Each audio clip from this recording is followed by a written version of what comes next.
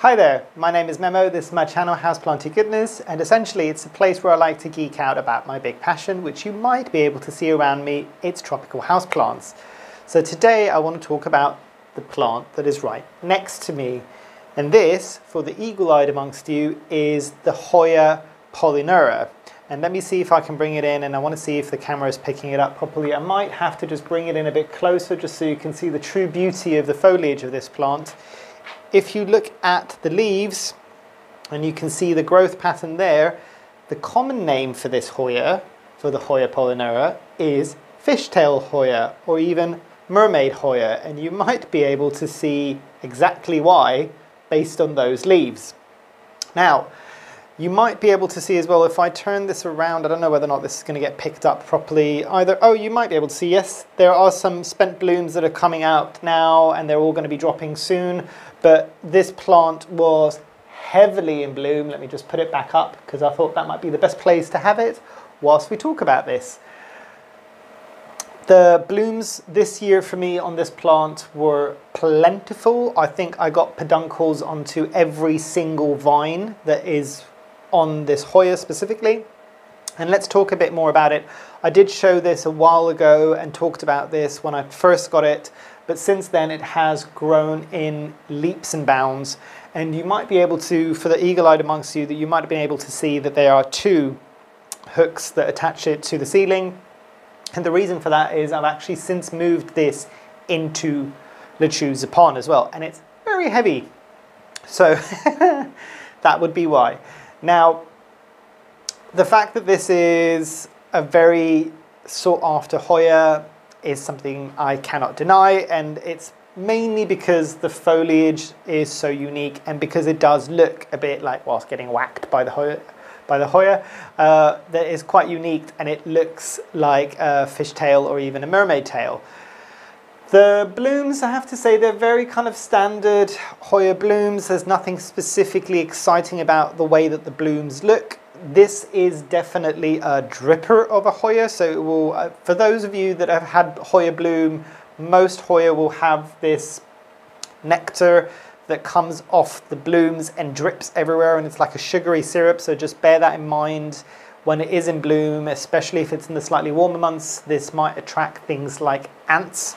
So just bear that in mind. I have seen several people put plastic bags around their Hoya blooms just because they drip so profusely. This one does drip. It doesn't drip a huge amount, but it still does drip, especially when it's laden with blooms like this one was.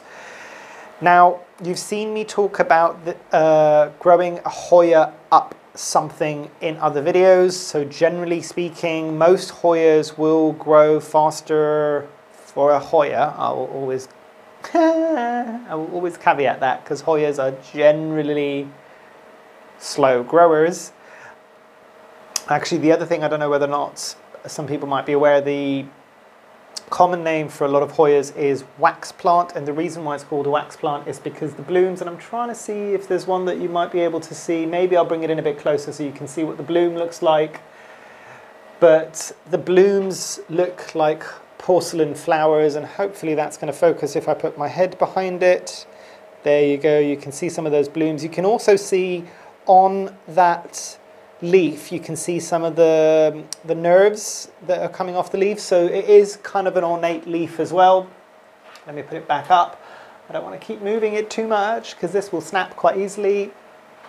But very, very cool Hoya.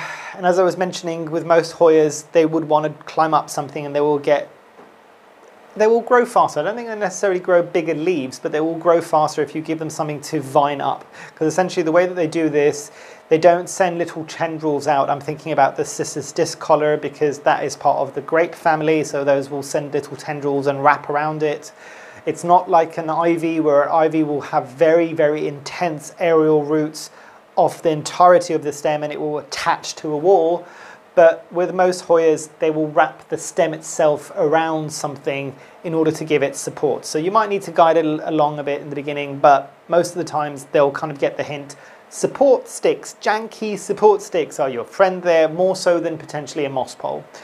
You can also get these other trellisy things where there's multiple kind of tiers and levels to it as well. You can probably find it online, I won't bore you. But this is a Hoya that doesn't do that. This is one of the few Hoya that is a trailing Hoya and you might be able to see behind it another example of a trailing Hoya where you will not grow this up something, it does need to cascade down, which is the Hoya linearis, which is also currently, and hopefully that is being picked up, in bloom. So the difference of that, let's talk about the blooms really quickly again. With the Hoya linearis, for instance, it does have a nice scent to it, and that is a lemony scent. This one, at least in my opinion, doesn't have much of a scent to talk about. And even when I was looking online, there was a lot of people that kind of had similar experiences to me. The other thing that's a bit tricky sometimes with Hoya, where people are just like, oh, mine doesn't smell at all. Why does other people smell? It smells during the evenings and during the early mornings. So that's going to be the time when you can smell it. During the day, and I was always convinced that the linearis had no scent because I tended to try and smell and see if there was any scent to it during the day, but obviously there was none.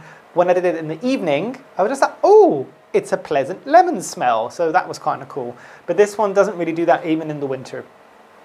Now, the other thing about the Polyneura is I think from what I've seen does propagate quite easily. I've not personally propagated it. I've given quite a few cuttings of this to friends and I think they've had success in propagating it. I know some people in the States who are trying to grow one or two vines of this have struggled a bit generally with this Hoya, but if they are still struggling, I would say maybe try propagating it in something like pon, and that will do quite well. It's really loving life in pon at the moment with this one.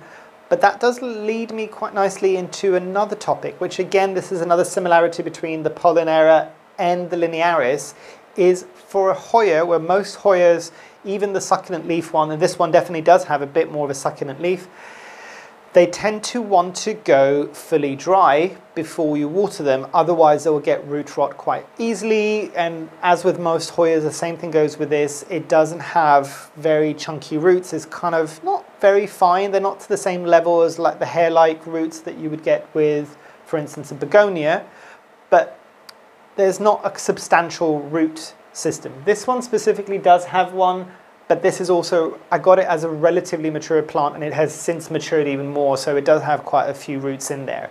But both this and the linearis, they like to remain moist and not going fully dry. So bear that in mind. I'm not saying to treat this like a calathea or an alocasia or even a fern. You still want this to go towards dry, but not fully dry. Clear as mud? It's a bit of a tricky one to get right, and I think that's probably why some people have struggled a bit with both the linearis and the Polyneura when it comes to propagation or even keeping it. The other thing to bear in mind, I think if I'm not mistaken, for both of these Hoyas actually, and it's quite handy that they're both in the same shot, um, they are plants that come from higher altitudes generally. And I'm pretty sure that they both do actually. And that links in quite nicely in when I have seen these Hoyas bloom for me, and both of these will bloom a lot when the season changes from the summer months to the autumn months. And that kind of makes sense because both of these plants do appreciate and they do a bit better in the winter and in the autumn months because they do like the slightly cooler nighttime temperatures. They really do start perking up quite a bit. You might be able to see some bleaching potentially on some of these leaves that are maybe a bit more brightly colored. Is because I'm giving this a lot of light. This one more so than the linearis. The linearis definitely needs kind of a diffuse light, but this one can really take bright, bright light as I will give to most of my Hoyas, to be fair. Now, in terms uh, of pests for this one, again, this might just be in my situation because I've been talking about this for a while. Unfortunately, this property doesn't have an awful lot of pests, but the pests that it does have in abundance in this conservatory, and I'm still trying to get on top of it, and I think I probably always will, is mealybugs. This, like most Hoyas, if you get a mealybug, it generally won't kill the plant unless it's a very heavy infestation. And the one thing I will say about mealybugs is you might want to also check the roots of specific Hoyas because you can get root mealybugs and they might be sitting there gnawing on the very small amount of roots that are already in the pot. So just bear that in mind. But yeah, mealybugs are a bit of a pain with this one because there's so many nooks and crannies and the, the way that the plant grows and the way that the leaves grow on the stem, it can be a bit of a challenge. In terms of watering, as I said, just make sure that you're watering before it goes fully dry. If you've got it in soil, a moisture meter would definitely be your friend for this one, especially if it's a very unique plant and you want to keep it happy. I'd say invest in one if you don't already have one. And fertilizing even in the winter, as with most of my plants, every second or third watering, and it's loving life, bright, bright lights, no support needed. It's definitely a trailing plant. It's very, very cool trailing plant, but just bear in mind, the larger it gets, because it's such succulent leaves, the, the linearis leaves and the stems are actually quite light generally.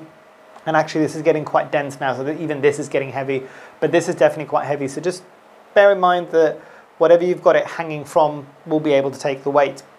But yeah, I think that's everything I wanted to say about the Hoya polyneura or the fishtail Hoya.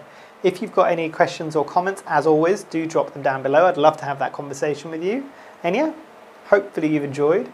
Hopefully I shall see you here soon. And I truly, truly hope you have a great rest of your day. Thanks. Bye.